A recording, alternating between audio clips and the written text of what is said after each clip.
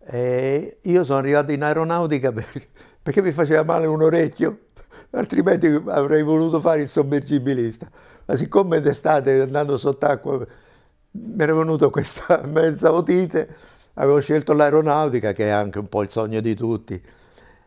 E sono andato, ho fatto la domanda e a un certo punto mi hanno preso, mi hanno chiamato, ho fatto la, la, visita medica, sono tornato a casa e mi hanno richiamato e sono andato a, a Napoli con un amico che, che, faceva il cameriere a Sorrento. Infatti siamo andati a Sorrento e insomma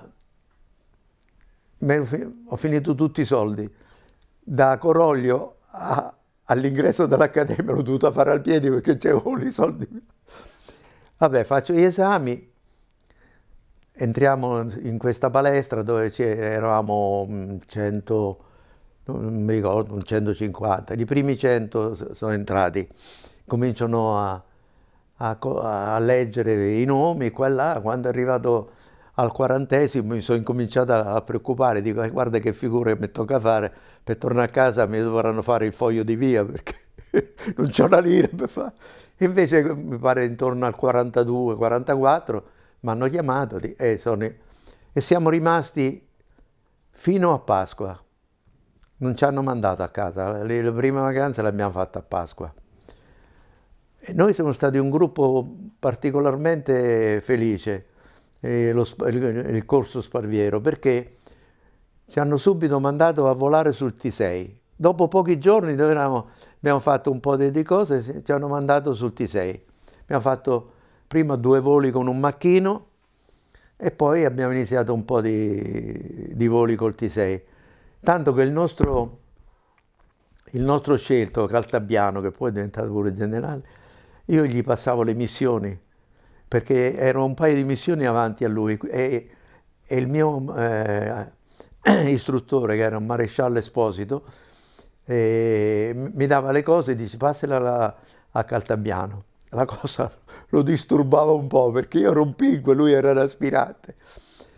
E niente, siamo stati in accademia, è stato bene, a me è mancato solo il sonno. Andavo a dormire tra gli asciugamani bagnati alla domenica così, eh, o quando c'era in, nella, nella, palestra, eh, era l'unica cosa. Poi l'Accademia per me è stata abbastanza semplice, avevo fatto un liceo scientifico veramente formativo, per cui eh, matematica, fisica, chimica, l'inglese teorico, non, perché io come tutti gli italiani per parlare è stata una cosa un po' lunga.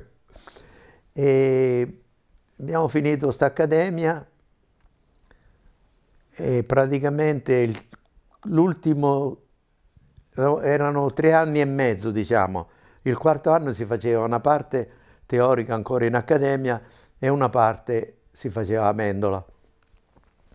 E quando siamo andati, dovevamo andare al, al nuovo, alla nuova accademia, quella che è l'Accademia di Pozzuoli, solo che non era pronta la camerata dove dovevamo andare noi, per cui ci hanno messo per un mese all'albergo Trieste, mi pare si chiamava, e, insomma un albergo vicino alla stazione eh, di Napoli.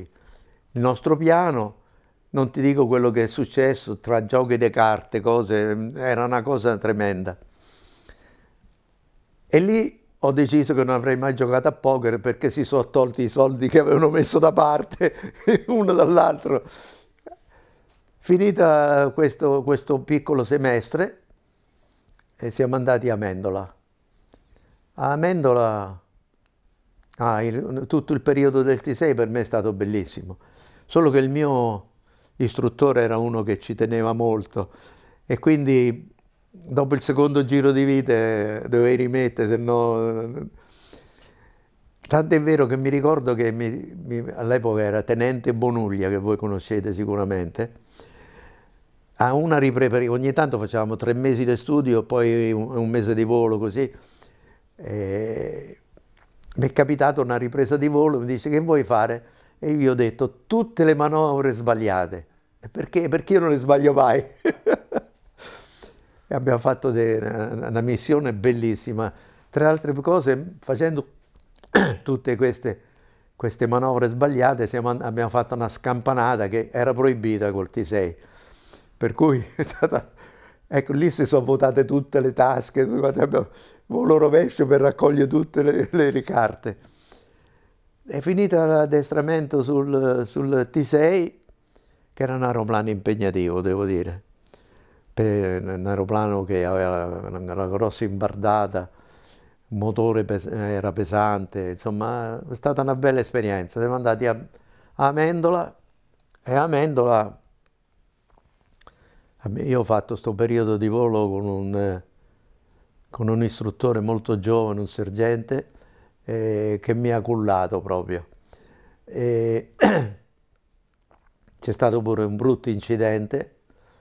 Io ero in volo facendo un simulato con l'Agi, che all'epoca era eh, maggiore, quale nel momento di, di, di, coso, di questo, tutto, questo traffico disse usciamo da, da, dal circuito perché è brutto.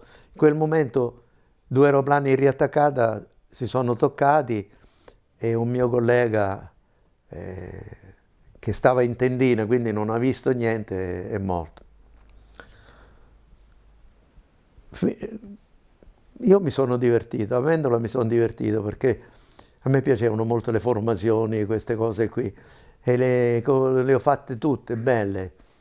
Eh, C'avevo un po' di tigna, le avevo fatte pure con il comandante del gruppo CIMS, si chiamava, Maggiore CIMS sul T6, che mi portò in volo due o tre volte e facevamo delle belle formazioni e lui, siccome vedeva che non mi staccavo, insomma, aveva spinto un po'.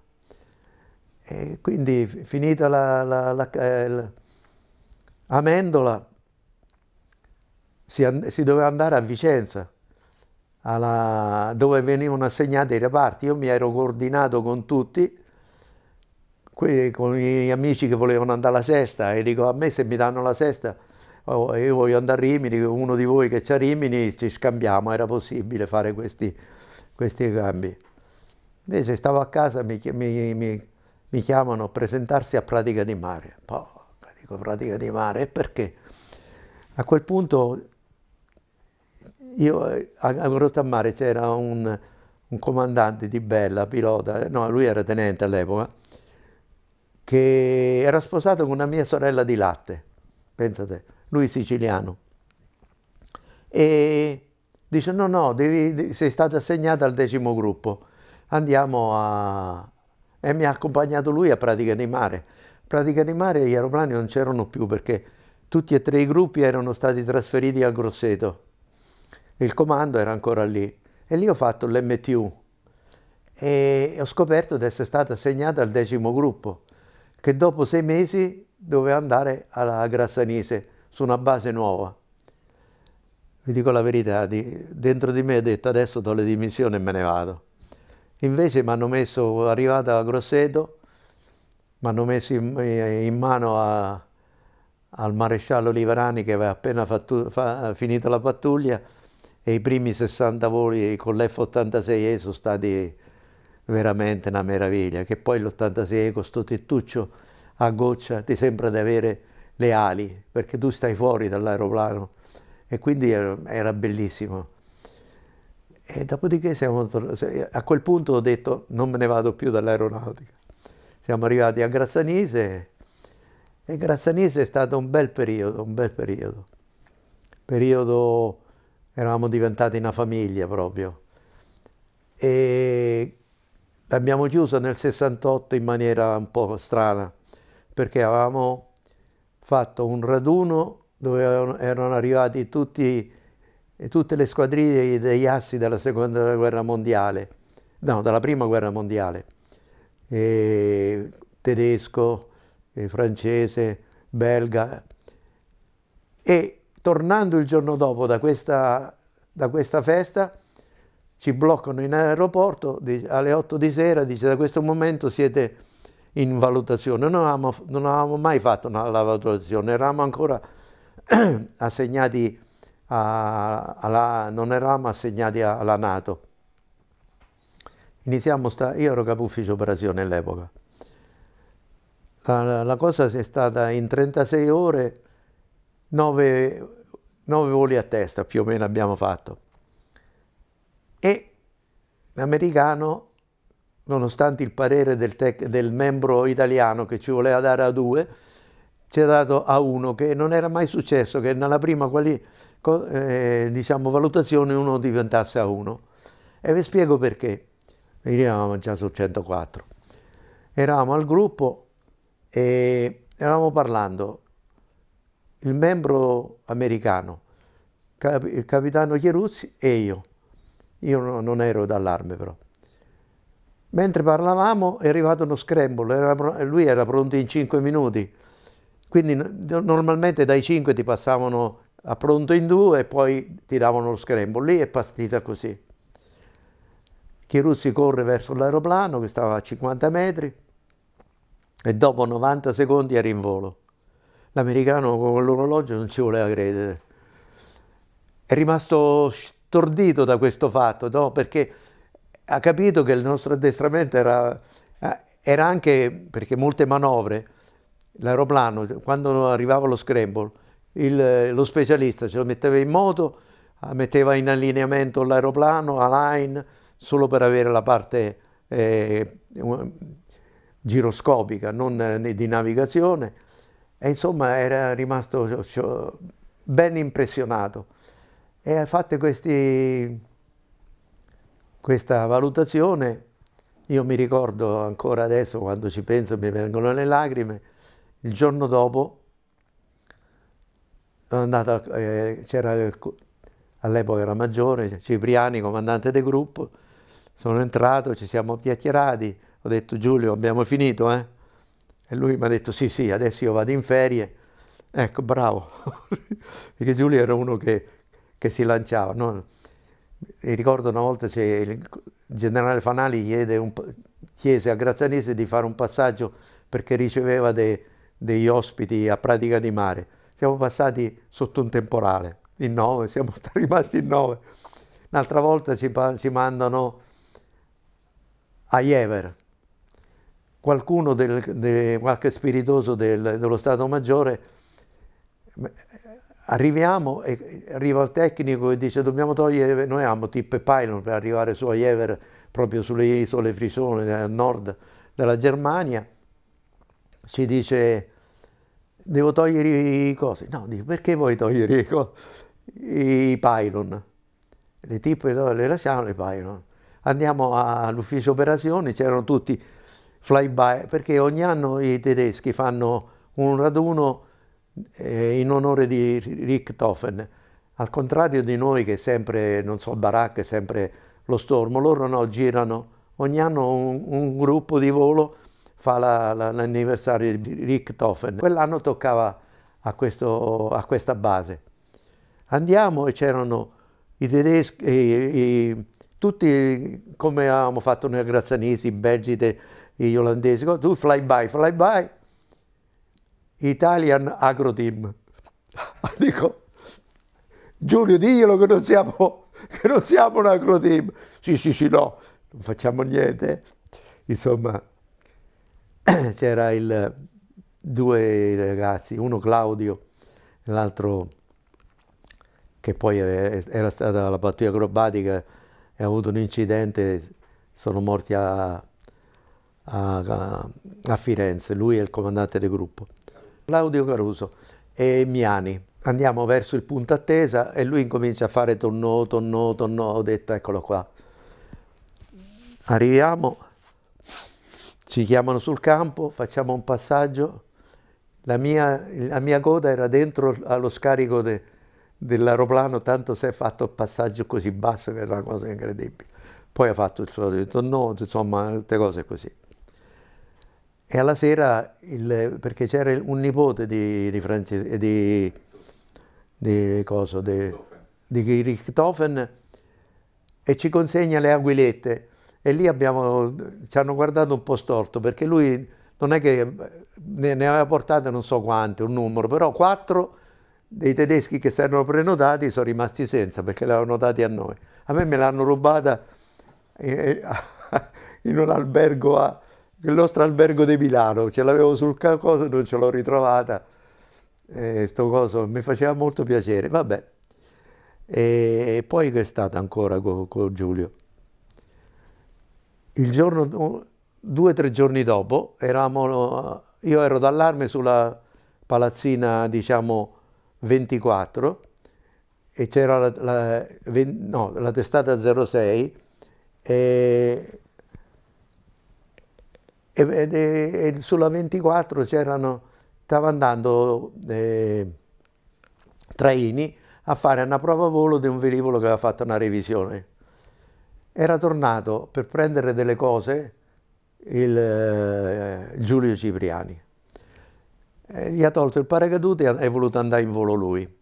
Noi avevamo in quel momento 4-5 maestri, professori, che avevamo sfruttato per fare prendere dei, dei diplomi ai nostri sottufficiali in modo che potessero fare eh, il concorso per, per, ufficiali.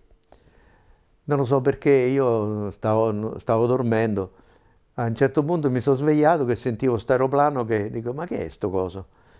Sto, sto rumore. Lui si è messo a fare dei passaggi. In uno di questi passaggi vede, ha preso, si vede, molta, de, molta, velocità, è entrato in delfinamento e ha distrutto la, la palazzina della 06, distrutta proprio. Io ero appena uscito, ho visto solo la polvere. E così mi sono ritrovato che io volevo andare a... a volevo uscire da Grazzanise dopo otto anni perché terra di lavoro, non so se sapete il posto dove Grazzanise, Sparanise, eh, come si chiamano questi? Marcianise. Marcianise, no, quel paese dove ci stanno quel, tutti quei camorristi famosi. Vabbè. Castelvolturno. Castelvolturno, sì, anche a Castelvolturno e allora mi, mi arriva d'estate il generale Barra che era quello che, che alla, alla, diciamo, alla, regione mi avrebbe dovuto dare l'autorizzazione e gli dico per favore io vorrei, fare, vorrei andare allo, sta, allo, Stato Maggiore, non perché mi, mi, piacesse lo Stato Maggiore ma volevo un po' vivere, che a Grazzanise proprio era una cosa tremenda. E lui mi dice no, sei troppo giovane a, a, a settembre tre delle, del mio corso, della, della 46esima, tutti e tre a, allo Stato Maggiore. E allora dentro di me ho detto, ah, è così è la cosa, perché Grassenese era una base dove non voleva venire molta gente. E a quel punto mi sono guardato intorno e ho telefonato a Parascosso, che l'anno prima ero andato a fare l'istruttore a Grosseto, e ho detto, senti un po' se gli servono un pilota, un istruttore. E il giorno dopo è arrivato Maresia, mi ricordo, facendo finta di un volo fuori sede e mi disse ma sei convinto di venire? Eh certo che voglio venire. E sono arrivato a Grosseto, dove mi sono trovato bene, anche a Grosseto mi sono trovato bene. Il ventesimo era un, un, un gruppo eccezionale. Me ne sono reso conto quando sono rientrato all'Italia. Noi peccavamo di pianificazione del volo al ventesimo no, al ventesimo dal decollo all'atterraggio era pianificato tutto. E difatti sono successi degli incidenti, ma più che altro incidenti dovuti a avarie dell'aeroplano, non a, a, a, a, errore pilota. E, e niente, così è stata la cosa.